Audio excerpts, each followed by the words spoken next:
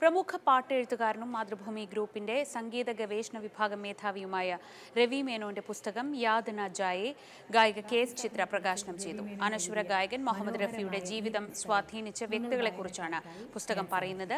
രവി മേനോന്റെ പത്തൊൻപതാമത്തെ പുസ്തകമാണിത്. മാതൃഭൂമി ബുക്സാണ് പ്രസാധകർ.